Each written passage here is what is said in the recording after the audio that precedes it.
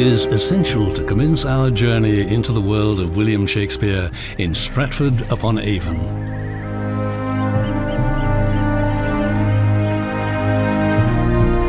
It was here that he was born, spent his childhood, fell in love, and raised his children. Stratford was the place to which he returned time and time again.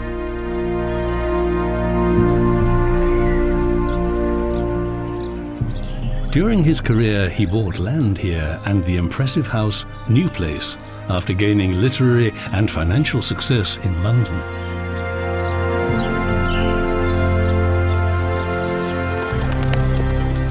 This building, Holy Trinity Church in Stratford upon Avon, is the perfect place to start delving into the life of William Shakespeare. He was baptized here on April the 26th, 1564, and he was buried here we don't know for certain, but it is possible that Shakespeare's birthday was on the very same day as the day he died, April the 23rd, St. George's Day.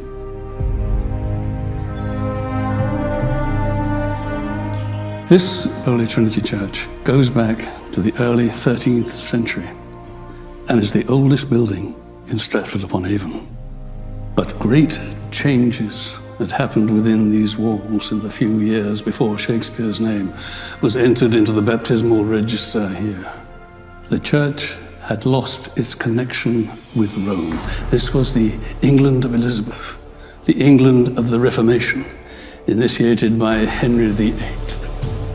Like many other families, the Shakespeares were deeply affected by this enforced change in their religious practice.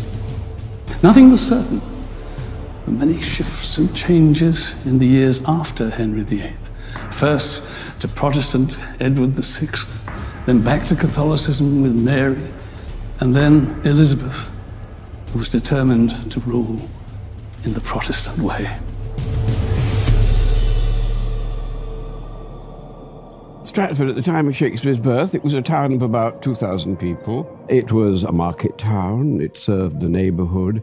People would come from neighbouring villages to bring their produce. Stratford is a town that was predominantly agricultural and it's very ideally situated for the Cotswolds. So the wool trade was very, very prominent in Stratford. Stratford on Avon in the mid 16th century was an unremarkable little town. Was small, population around 2,000, and it was a struggle for the town to maintain such a number. Outbreaks of the plague were common here as they were across the country. The Black Death had come to England 200 years before, and everyone lived in daily fear of a return of this deadly disease. The plague was always, always a concern in Stratford, as it was in other towns as well. Almost every year, the plague would have hit Stratford. The year Shakespeare was born happened to be a particularly bad year for the plague. There's one very good example in the parish register in front of me here that is from July of 1564, just three months or so after Shakespeare himself is born. The clerk who's recording the burials for Stratford has taken special care to note uh, in Latin, hic in cepit pestis, so here begins the plague. And you can see the, from the list of burials that follows, a huge number of people are dying in a very short period of time. They, almost 200 people, are about a seventh of the population of Stratford. So if you think that Shakespeare would have been just a few months old, what infant mortality would have been like at the time, we're sort of very lucky to have survived that whole incident. We know that on houses on either side of the house where they were living, children born in the same year as Shakespeare had died from the plague. So he survived. It was in this house in Henley Street that we believe William Shakespeare was born. He was the son of John Shakespeare and Mary Arden. Now, the Ardens were a very well established family here in Warwickshire. They traced their roots back to before William the Conqueror. And when William Shakespeare arrived, his parents must have seen that as a very great blessing indeed, because they'd already lost two baby girls.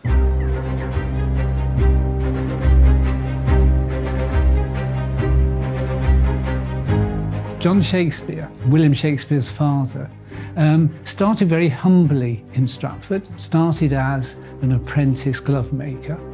He became an ale taster.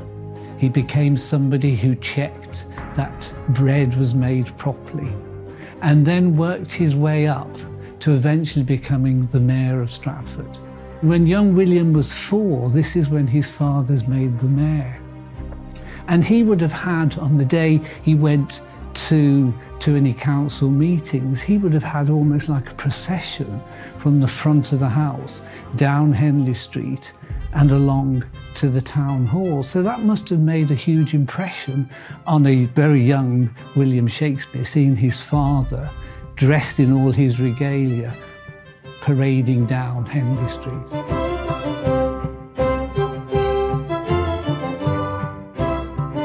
He was always known as a, a glove maker stroke whittawer. Now, a whittawer is a tanner. A tanner, but who's producing really fine white leather. And that ties in with the sort of gloves that John Shakespeare was making. These are fashionable, high quality gloves made for the, for the well to do. As a young boy, William would have been in contact with all kinds of people through the trade connections of his father. This could have given him inspiration and language for the colourful characters in his plays.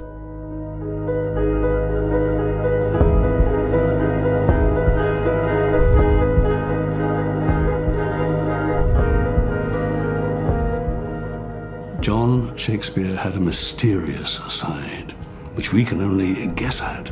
It is very possible that he was a secret Roman Catholic.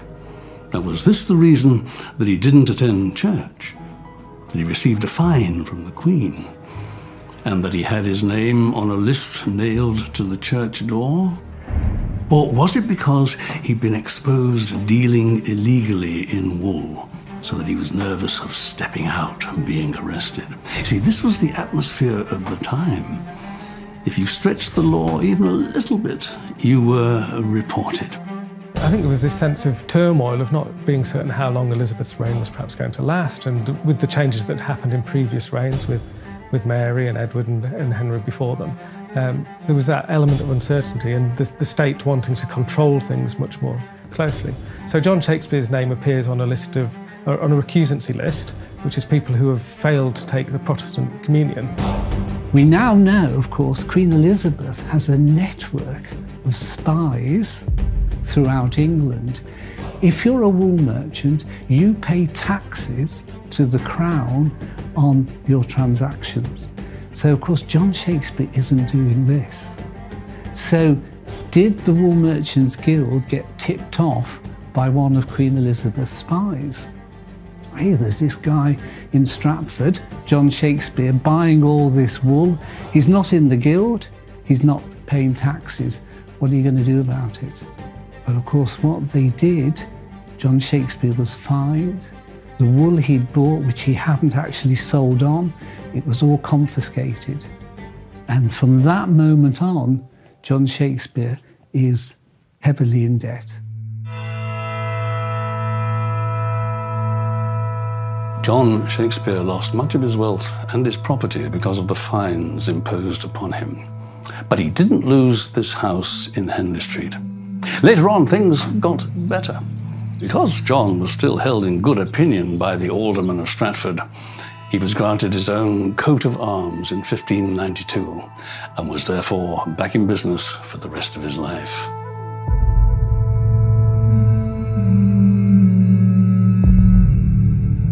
The town in Shakespeare's boyhood had an important school, King Edward School, a foundation of King Edward VI.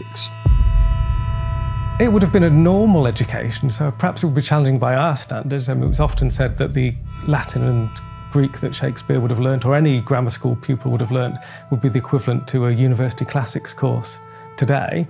School starts at six o'clock in the morning and they go through the whole day. They would have started learning simple alphabet and the catechism, sort of the Lord's Prayer, things like that, and then moved on to more complex things. Start with perhaps Aesop's fables, you'd learn your grammar as well, perhaps some Seneca, uh, Virgil. So all of the sort of the classic authors that we think of would have been very much the foundation of that curriculum.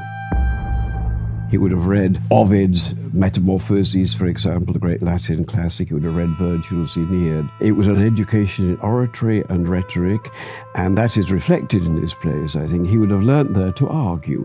He would have learnt there to argue on both sides of the case, and he's brilliant at doing that in the plays. If you take a play like Measure for Measure, for example, where Claudio, the young Claudio, is condemned to death, there's a wonderful scene where the Duke is disguised as a friar, is trying to persuade Claudio to be absolute for death, as he says, and he's trying to persuade him of the consolations of religion, uh, that it's not all that bad to die after all. But then a few hundred lines later, there's a wonderful speech from Claudio, which puts the exactly the opposite point of view. Aye, but to die and go we know not where, to lie in cold obstruction and to rot. Now, there's an example of Shakespeare's dialectic skill, the way that he can present two totally opposing cases within a single scene of a play.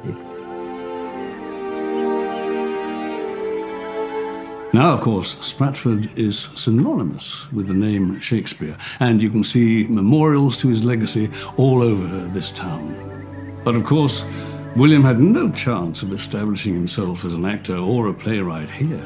Although his father had a very prosperous career in William's early years, later he hit huge financial problems, and it was only by a very risky move to London that William was able once again to restore the name of Shakespeare.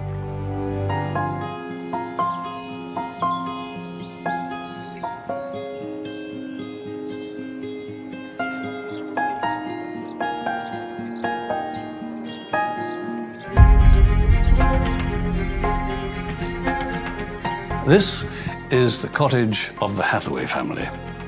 We know that William Shakespeare married Anne Hathaway in 1582, when William was 18, and she was some eight or nine years older.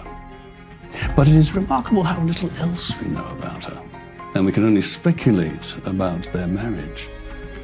We do know they had three children. There was Susanna, the firstborn, and then the twins, Hamnet and Judith. Hamnet was to die when he was 11 years old from an outbreak of the plague.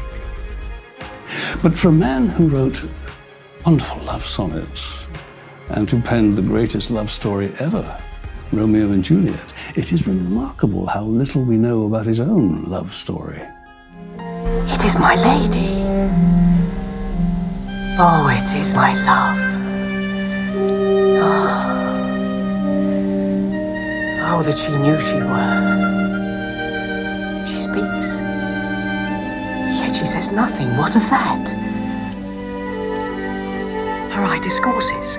I will answer it. I am too bold.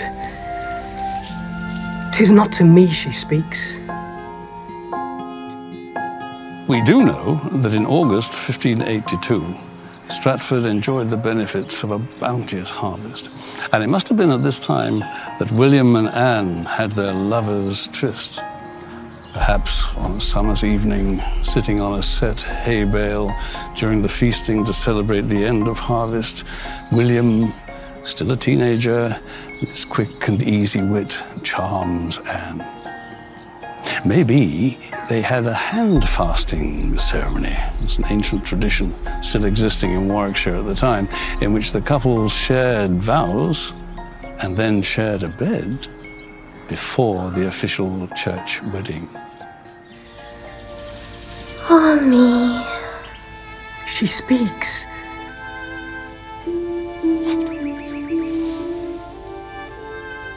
Oh, speak again, bright angel. Oh, Romeo, Romeo.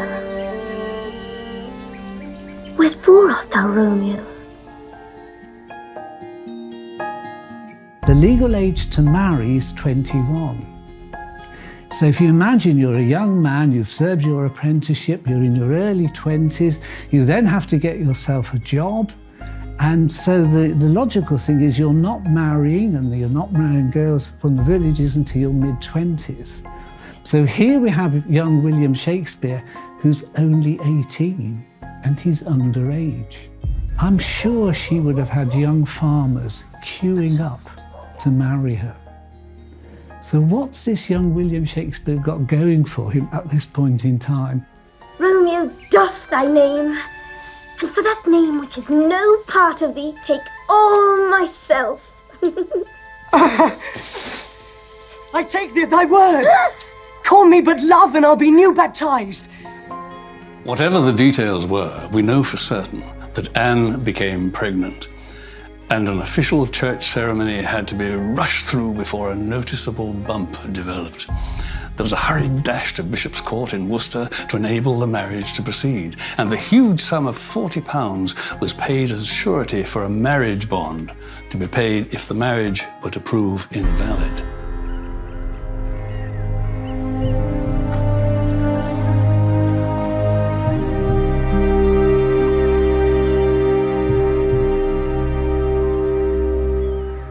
We know that William Shakespeare married Anne Hathaway in 1582 when they had their first child, Susanna, in the year after. But the years 1585 to 1592 are a time of intense frustration for Shakespeare historians. We know practically nothing at all about that elusive seven year period. And consequently, we have no idea how and why he first began his career upon the stage. Many theories have been advanced. Some say that he headed off for Lancashire, the Catholic stronghold. An earlier biographer said that he became a schoolteacher in the country. I think it's perfectly possible that he was kept on at Stratford School as an usher, they were called, the assistant schoolmaster. He was obviously a very talented, clever boy. I think it's quite possible that he did some teaching here. Or perhaps he joined a travelling group of players, many of which came through Stratford to perform. And this is where he found his calling.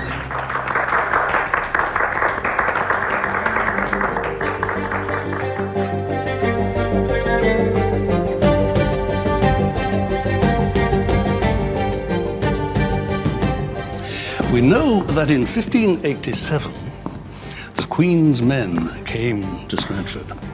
These were a group of travelling players backed by Queen Elizabeth I's government, who performed around the country what was essentially propaganda to support her reign. The Queen's men weren't a touring company in the modern sense of the word, no, they were more of a, a variety act. Acrobatic performances and comic routines alongside the plays. But it is the list of those plays and the fact that they were here in Stratford which is the interesting point. We know from old records that they put on the story of Richard III, the story of King Lear, the famous victories of Henry V, and don't they sound familiar? Is it possible that Shakespeare did join that company and was inspired to write his own version of the stories of the plays that they were producing? Omit no happy hour that may give furtherance to our expedition. For we have now no thought in us but France, save those to God that run before our business. Therefore, let every man now task his thought, that this fair action may on foot be brought. We know that two of the Queen's men went and performed in Elsinore, famously the setting for Hamlet. I have heard that guilty creatures sitting at a play have by the very cunning of the scene been struck so to the soul that presently they have proclaimed their malefactions. For murder, though it have no tongue, shall speak with most miraculous organ.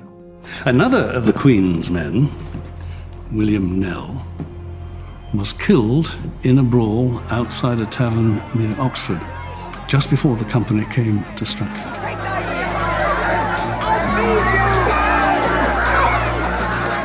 There was a fight, and, and one of the actors was actually stabbed to death. And there is a belief that possibly William Shakespeare stepped in to that role and then carried on and eventually got to, got to London that way. It is possible. But unless some late 16th century document turns up in some old drawer or other, we sadly will have no hard evidence to support this or any other theory. At some point, he makes that decision to move to London. We know in Henley Street there was a stable owned by the Greenaways, and he would have hired his horse or had his horse stabled there and then made that journey to London. Whether Shakespeare arrived in London as part of a troupe or followed them on his own, this was a momentous undertaking for him. It would mark the dawn of an unparalleled talent as the author of a body of work that would be unsurpassed and would influence generations to come.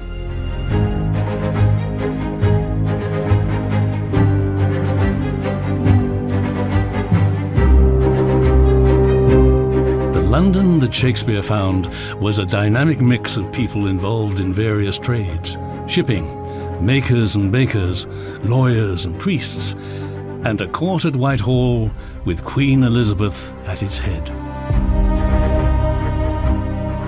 London was about 100 times bigger than Stratford. It was a town of about 200,000 people, a city, of course. It was a walled city with numerous churches, over 300 churches, a cosmopolitan place, of course, being on the Thames. It was a place where travelers would come and go, bringing their goods from abroad. It was a bustling, thriving, busy, in some ways rather sordid place. It was just beginning to have a theatrical community. That begins during Shakespeare's lifetime. Shakespeare had arrived in London at an ideal time. Playhouses dedicated to theatrical performances were a very recent development. Normally, actors and playwrights had to make do with performing in the yards of taverns or in the homes of aristocrats, but now the opportunities were endless. Just as with the invention of cinema and the birth of television, a whole new medium was opening up to the masses, and Shakespeare capitalized on it. It wouldn't all be plain sailing, though. An outbreak of plague struck the city in 1592, and the theatres were shut, just as Shakespeare had hit his stride. But as always, it seems, he adapted quickly and soon had great success publishing the narrative poem Venus and Adonis. It was based on Metamorphoses, another narrative poem by Shakespeare's favourite writer, Ovid, whom he adored from the time he first would have encountered his work back at school in Stratford. Shakespeare simply couldn't resist a return to the theatre. And he threw himself almost exclusively into the life of a playwright once the theatres reopened.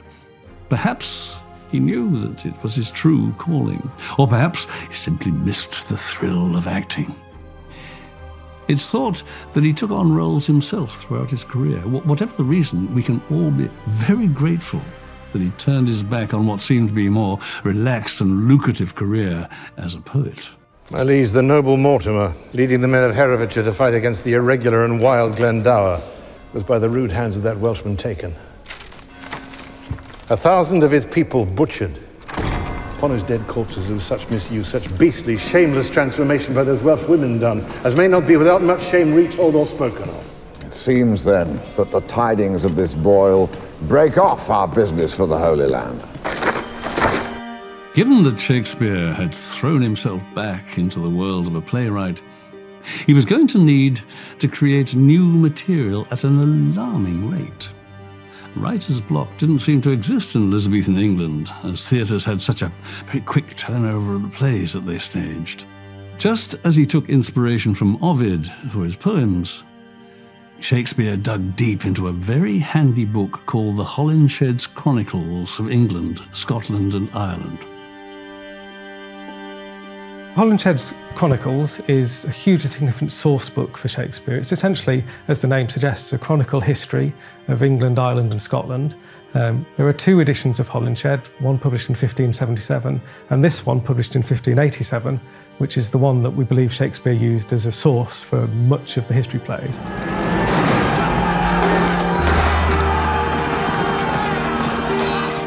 With Henry V, for example, Holinshed describes the Battle of Agincourt and the campaigns overseas, so you can see where Shakespeare's getting the story ideas from that he then turns into the plays on stage themselves. For many of our princes, woe the while lie drowned and soaked in mercenary blood. Oh, give us leave, great king, to view the field in safety and dispose of their dead bodies. I tell thee truly, herald, I know not if the day be ours or no. The day is yours. As the 16th century came to a close, Shakespeare had managed to bring together everything that he needed to dominate the London theatrical scene. He knew how to leave audiences in stitches with his early hits, The Comedy of Errors and The Taming of the Shrew. And his trusty copy of Holinshed's Chronicles had provided the material for his plays on the English kings, including Henry VI and Richard III. But he needed a star creation of his own, a character that would bring in bigger crowds than ever on the rapidly expanding London stage scene. And he found it in John Falstaff, a buffoonish knight. Give me a cup of sack, rogue! Is there no virtue extant? Go thy ways, old track. Die when thou wilt. If manhood, good manhood, be not forgot upon the face of the earth, then I'm a shot herring. There live not three good men unhanged in England, and one of them is fat. Falstaff delighted audiences more than any other character of the era. He stole the show in Henry IV, Part 1 and 2, and was so popular that Shakespeare had to knock out a comedy with Falstaff as the main character, the rather hastily written The Merry Wives of Windsor. They say that jealous wittily knave hath masses of money, for uh-huh. the which his wife seems to me well favoured. Now I will use her as the key to the cockledy rogue's coffer, and there's my harvest home. I would you knew, Ford, sir, that you might avoid him if you saw him. oh, hang him! Having created such a smash hit, you could say that the world was now Shakespeare's oyster, which would be fitting, as he invented that phrase when writing the character of Falstaff. London had given William Shakespeare a stage, but too often it had been a precarious one. His friends, the Burbage family, had to move their playhouse, the theatre, as they did not own the land. William and his colleagues became the shareholders of the Globe, which they erected from the timbers of the previous theatre.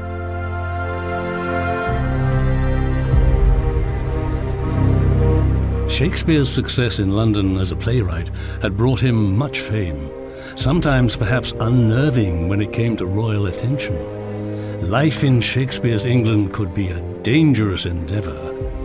London was a city full of intrigue and espionage. Elizabeth was never easy in her role as queen and was always on the lookout for possible usurpers and employed a contingent of spies. Elizabethan England, with all its excitement, would have been amazingly a vibrant place to live. We know at one point he's living literally a few hundred yards from the Globe Theatre. It was the red light district of, of London. So, I mean, it's outside the city walls, so people would have been ferried across the Thames, and that's the Soho of the day, really. It's an amazingly lively place. The building of the Globe Theatre would at last give Shakespeare a proper home for his plays, which inspired him to become more and more creative. This is Shakespeare's Globe Theatre in Bankside. It welcomed its first audiences in 1997, almost four centuries after the original Globe Theatre, which this building is intended to replicate, first opened its doors. It was 1599, and Shakespeare was a shareholder in the playing company, the Lord Chamberlain's Men. It was a formidable troupe. Shakespeare was the resident genius playwright, but also still an actor, of course. They had a superstar leading man in Richard Burbage, who had the enormous honor of taking on William's greatest roles for the first time, including Hamlet, King Lear, and Macbeth. They also had a supreme comedian, the other Will in the group, Will Kemp, who had sent audiences into raptures with his performances as Sir John Falstaff.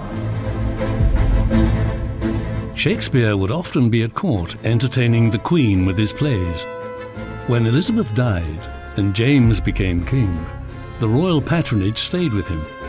Shakespeare was now a significant member of the King's Men. It was at the Globe that Shakespeare truly cemented his legacy as the greatest writer in the English language. Hamlet, Julius Caesar, Macbeth, King Lear, Othello, they all had their first ever performances at the Globe.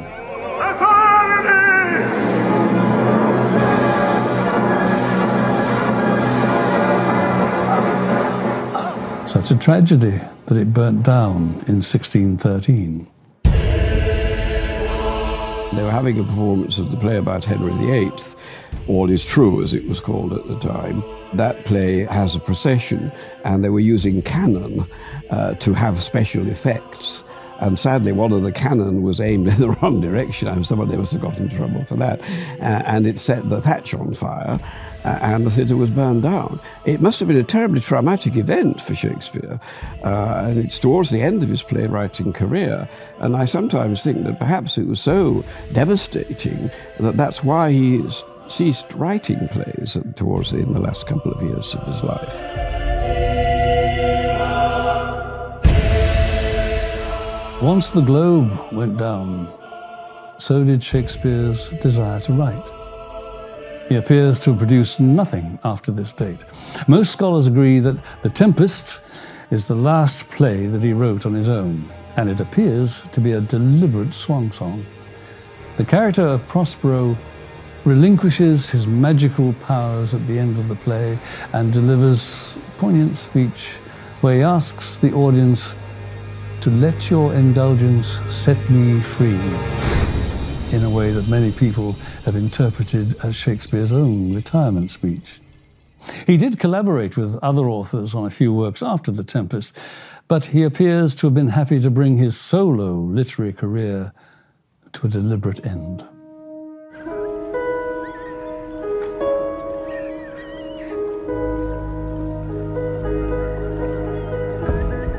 When the opportunity arises, he comes back to Stratford.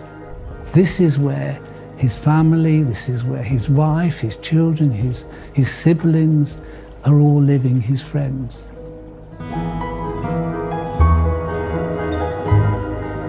I think he was a Stratford man all his life. His family remained in Stratford. He bought a big house for them quite early in his career. He owned New Place, the, the large house in the middle of Stratford, from the time that he was 33 years old.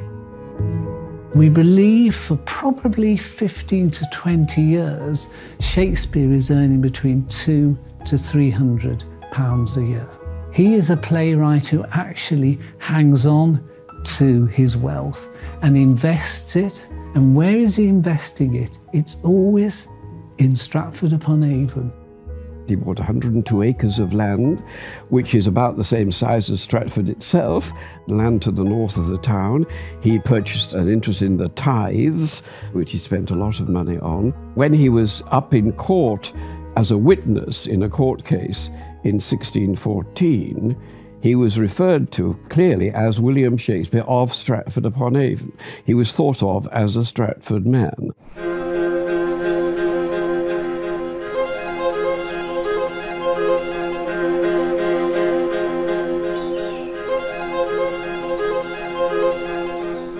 William Shakespeare died on April the 23rd, 1616, and it may be that his death was sudden and unexpected because just a month earlier he had signed his will in which he said he was in perfect health. In that last will and testament, Shakespeare left money behind to his wife and sister, his niece and nephews, his children and his grandchildren, to his friends, and to the poor in this his hometown of Stratford upon Avon. But to the world of literature and to the English language, he left behind an unparalleled legacy.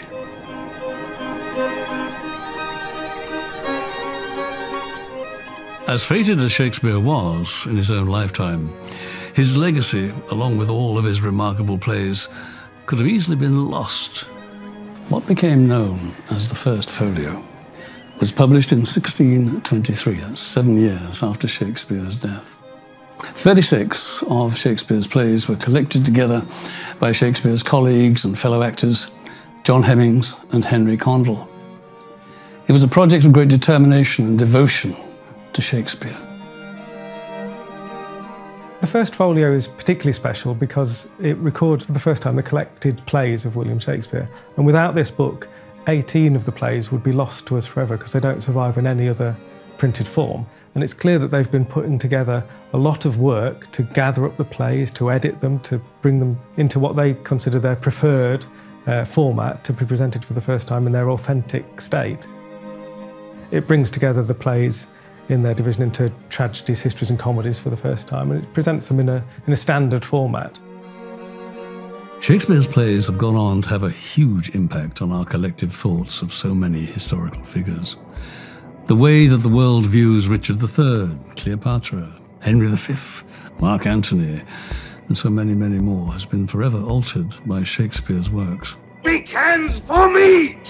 How perfectly did he capture the sense of betrayal felt by Julius Caesar as he was assassinated by Brutus, Cassius, and many others, with the simple but devastating line, Et tu, Brute.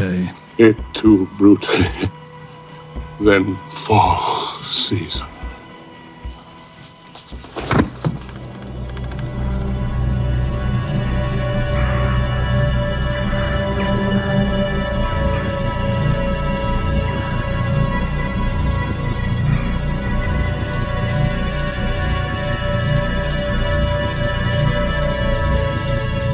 The funerary monument in the Holy Trinity Church may look a little kitsch. It has gone through centuries of retouching after all, but it remains one of the only two images that we are certain was intended to depict William Shakespeare. The other is the Droeshout portrait, which was an engraving placed on the front cover of the first folio, and which Ben Jonson declared was a very good likeness.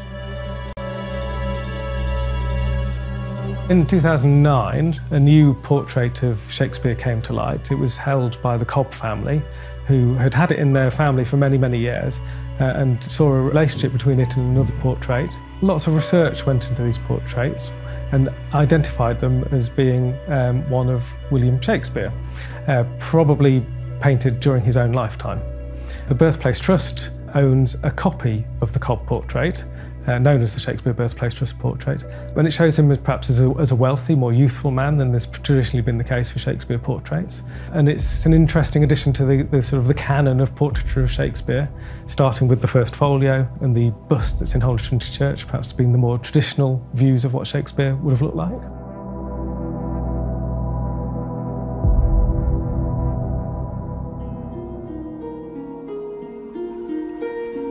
Shakespeare's greatest legacy of all remains in the language we all use every day. There's the incredible number of words that he coined that are as varied as bedroom, zany, gossip, invulnerable, lustrous, fashionable, monumental, eyeball, savagery, lonely. They all trace back to the bard. He was very fond of expanding the horizons of the English language with his own inventiveness. Shakespeare's had colossal influence. A lot of his plays and poems have produced phrases which are in anybody's mouths. Even if they don't know Shakespeare, a lot of people know who, what a Romeo is, for example, uh, and uh, phrases like uh, "a man more sinned against than sinning," for example, which is a line from King Lear, uh, will be used by people who, who've never heard of King Lear, even possibly.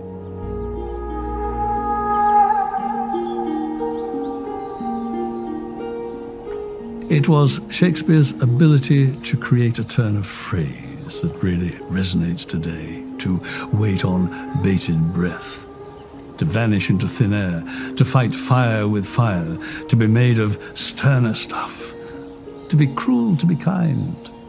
All phrases conjured in Shakespeare's plays. Any ad man today would kill to have Shakespeare's ability to create such memorable sound bites. In fact, as many as one in ten of the common phrases that we use every day were most likely the work of the bard, which is a truly astonishing number.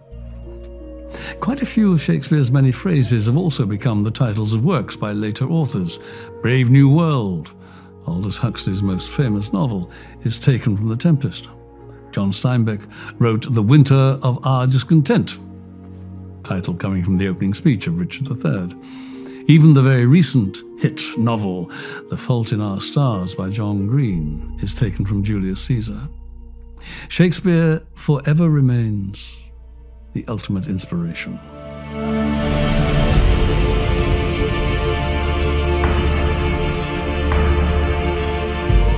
Colossal influence that Shakespeare is having increasingly still on the world of the arts. The music that's been inspired by Shakespeare, the films, the theatrical productions which go on, the fact that actors love playing Shakespeare's roles because they give actors such incredible opportunities.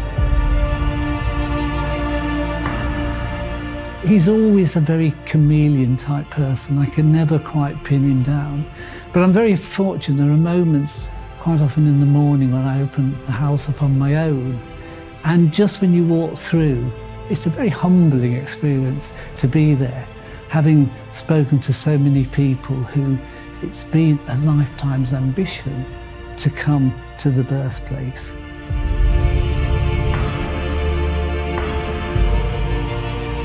The works go on being replicated inspiring other composers, inspiring operas, inspiring ballets, novels, poems, so that Shakespeare is now in the water supply. You can't get away from it. Television programs, pop songs, all of them frequently referring to Shakespeare, even uh, subconsciously very often.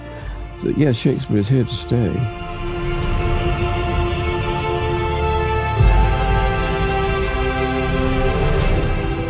To the reader, this figure that thou here seest put, it was for gentle Shakespeare cut, wherein the graver had a strife with nature to outdo the life.